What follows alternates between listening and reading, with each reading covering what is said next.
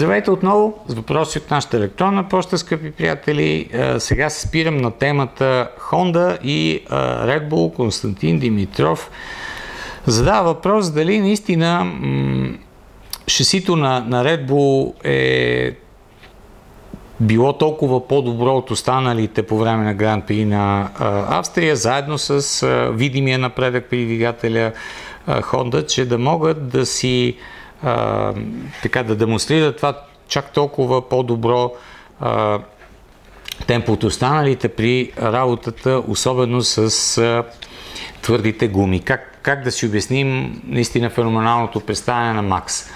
Значи от една страна, а, наистина подобренията в работата на задвижващата система на Honda са, са очевидни. И като повишаване на мощността, и като гъвкавост, което е важно при излизането от завоите, особено вътре в завоите и така нататък. От друга страна, Едрия Нюи отново започна да намира верния път в аеродинамиката на автомобила. Просто колата по съвсем различен начин заработва с гумите вече, в сравнение с това, което беше в началото на сезона. А, стъпка по стъпка м- намират аеродинамичния баланс, който се изгуби при тях. Както обясни Макс, след премахването на компонентите по предното крило, някак цялата философия на силно повдигнатата задна част на, на автомобила, на наклоненото им шаси, а, загуби от своята ефективност, но сега постепенно с промени в а, дефлекторите, с изменения в пода и така нататък, колата започва да работи. И а, при положение, че те като окачване, като механика пък а, винаги са били на изключително ниво и в последните години действително демонстрираха а, отлично запазване на гумите, добра работа в, в състезанията.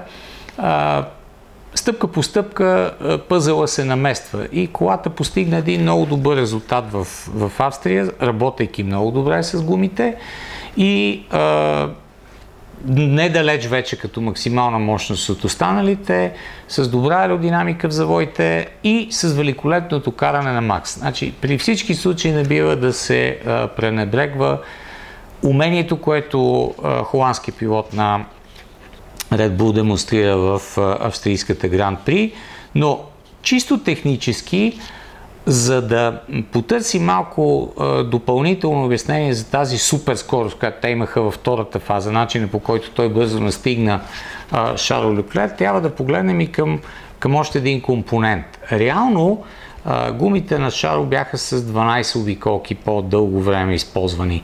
И загубата на, на Ферари, на Шарло Леклер бе обяснена в немалка степен не само с самите събития на, на третия завой, но и с избора на стратегия. Просто Red Bull първо пази по-добре гумите, Макс направи великолепно състезание като контрол, като а, запазването им по-дълго в хода на, на състезанието и естествено с 10 обиколки а, по-нови гуми в хода на самото състезание нещата в ключовите заключителни турове винаги това има значение. А Ферари направиха още нещо, което мен ме впечатли, докато гледах излизането на автомобилите на, на пистата.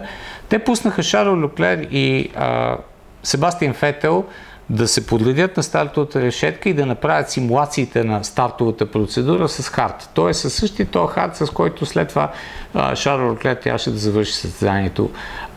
Естествено, ако го бяха направили с софт, данните ще да са по-точни, те нямаха софта, щеше да си износи софта, с който трябваше да стартира.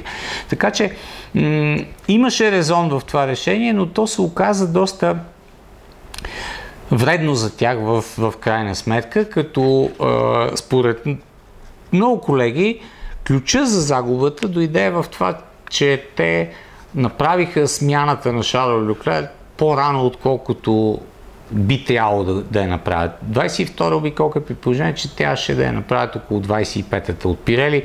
Преди състезанието обясняваха много подробно, че около 25-та обиколка при добрата работа на Ферари с софт нещата ще да се получат. И тогава тези три фатални обиколки за тях нямаше да ги има. Те ще да са изолирани от живота на, на Харт в финалната фаза на състезанието. Така че а, Окей, okay, Red Bull, Max, Honda направиха едно а, великолепно състезание. но бяха и улеснени от стратегията на Ферари. А последният компонент, който имаше значение в а, така, ключовия момент от битката беше DRS използването и начина по който водещите двама пилоти в състезанието преминаваха през трафика. Значи, а, Люклер според мен има доста, м- доста да, да учи в а, начина по който трябва да, а, да се позиционира и да използва трафика тогава, когато се защитава или тогава, когато изпреварва. В крайна сметка и това е опит.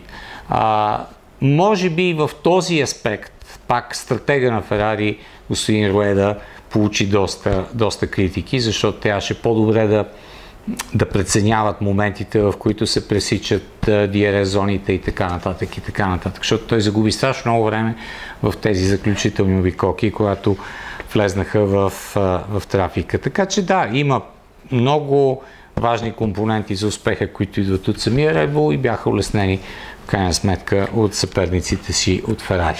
Благодаря за въпроса, ще бъдем отново заедно скоро.